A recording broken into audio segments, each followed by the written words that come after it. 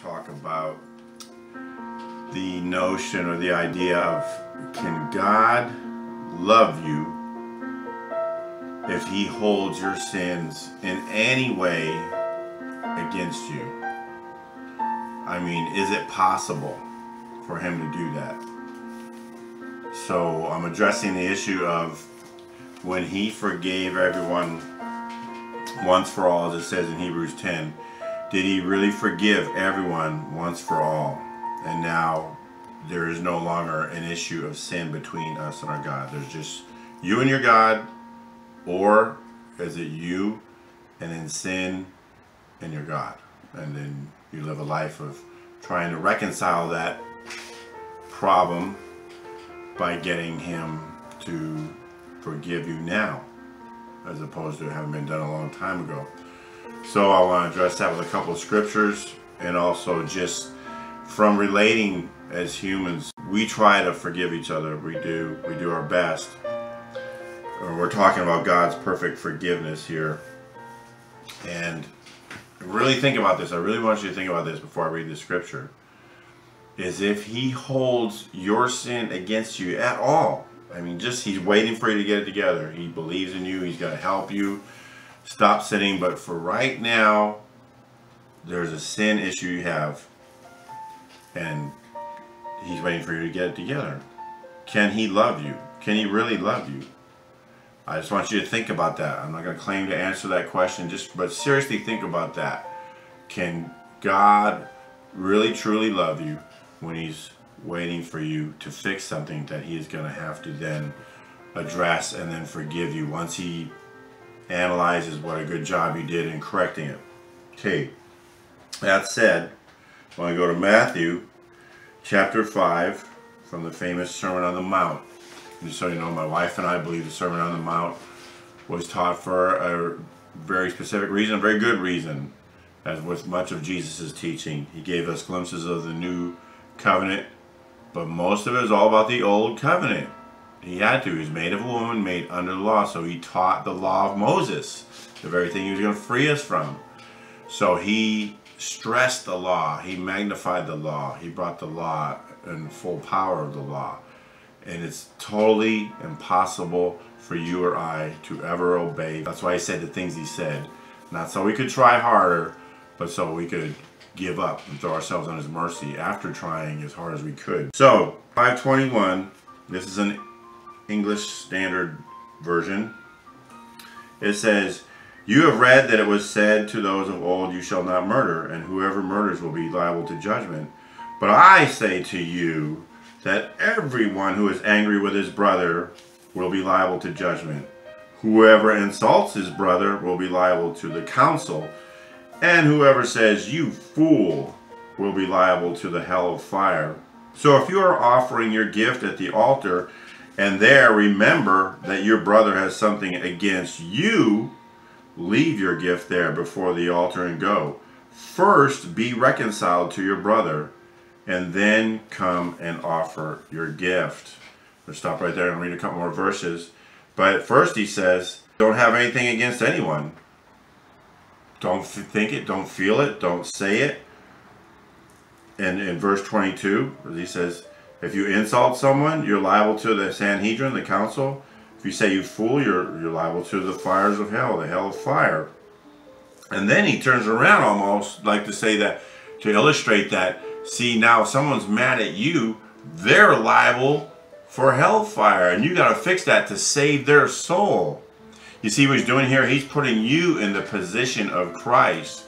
You are the one that has to get them to forgive you because if you don't, then their blood is going to be on your hands. That's what he says in the next verse. So if you're offering your gift at the altar and there remember your brother has something against you, leave your gift there before the altar and go. First be reconciled to your brother. First he says, don't feel these things towards other people. Don't think them, don't say them.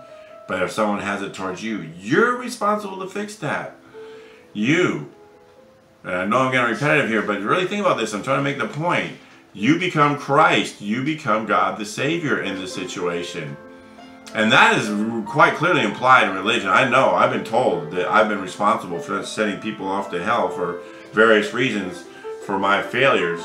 and it's now incumbent upon me to correct that situation, or else they're gonna they're gonna burn, and I'm gonna be the one that caused it to happen. And sometimes it's just implied, but you know what it feels like. If you've been in the Christian world, you know that guilt has been laid on you, that you're responsible for someone. And that goes to the, the opening question about does God hold your sins against you? And if he does, can he love you? Because here he lays this thing out, like I said, an impossible thing. This cannot be done. Yet you are told every day, every sermon, every study, every book of Christianity, basically, in one form or another, tells you to basically do these things. When I confronted and said, how am I supposed to do this?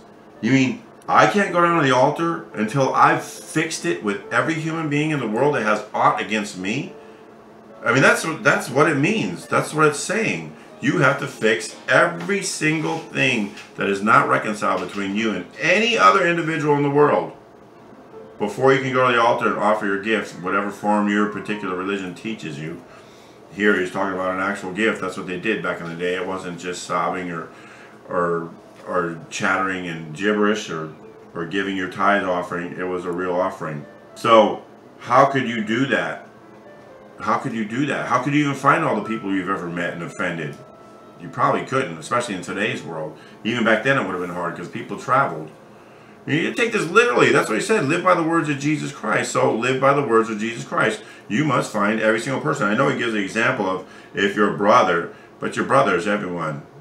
Everyone. And every single person out there you've had offended, you better fix it. And now just to make his point, to really show how impossible it is to do this, because he knows what type of prideful people he's dealing with. He's talking about, he's talking to Pharisaical Jews here. Verse 25, he says, Come to terms quickly with your accuser while you are going with him to court, lest your accuser hand you over to the judge, and the judge to the guard, and you be put in prison. I don't know if you ever noticed that. It used to drive me crazy. I look at that. It's like, I'm the guilty one.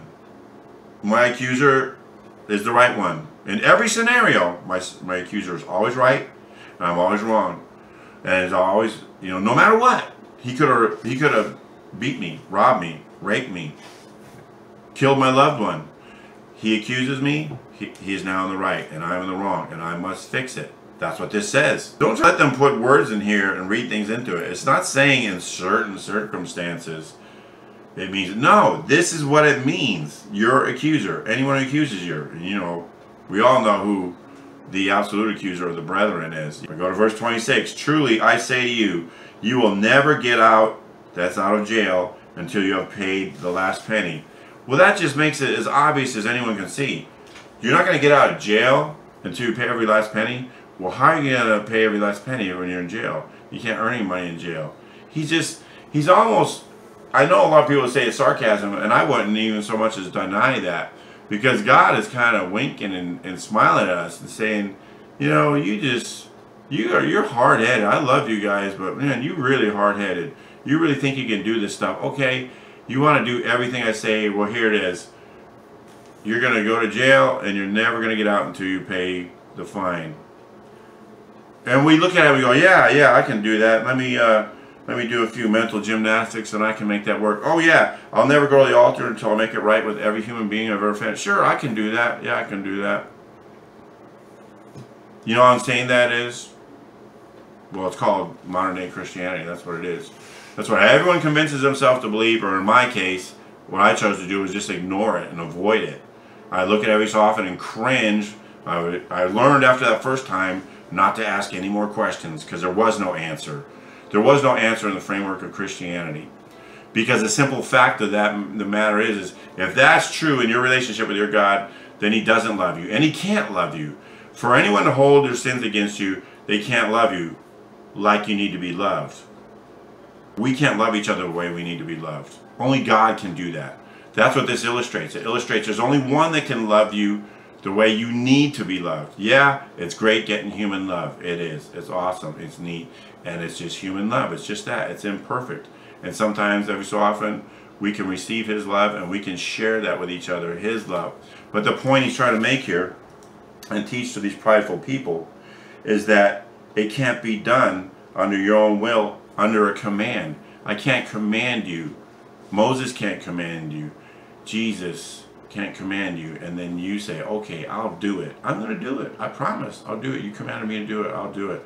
I'm going to make it right with everyone I've ever offended ever in my life before I go down to that altar. It's not going to happen. We need to wake up to the reality of what's going on here. Your God does not hold your sins against you. He can't. If he did, he wouldn't love you. That's the whole point. He took your sins away because he loves you, not so he could love you. In a way, it did. It's like that because technically, if he's thinking about all your sins all the time and getting you scrubbed clean by your behavior and fixing yourself, then he never really could love you. So he just took it away. He didn't ask your permission. He didn't give you a series of rituals to do so you could fix it and then come under his good graces. He simply took them away so he can love you perfectly. And you can receive that love once you believe that he actually did that. But you're not going to fix it with everyone. It's not going to happen. Look at this for what it means. It means that you, under the law, are in an impossible situation. You, under grace, who is Jesus, that is the person of grace, your God and Savior, your Lord, your everything. You, under grace, are complete. You're whole. You're loved. You're accepted. You have everything you need. But under law, you're hopeless. And you have two options. You can know what an utter failure you are and your God is disgusted with you, or you can convince yourself by lying to yourself that you're actually doing these things and be filled with pride and contempt for your fellow man and look down on them and be judgmental and hateful. Those are basically two choices. I chose the former. A lot of people I, I saw around me were the same. They felt like utter failures. I knew a few that were prideful and looked down and had contempt on their fellow man. That's the only choices in that because it's unreality. It can't happen. Don't choose that.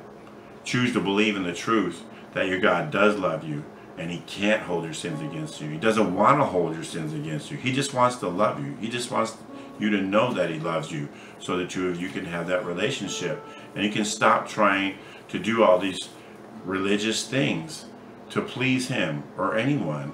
Just rest in his love and then you'll find out you can start to love in a way you've never known before. In Jesus' name.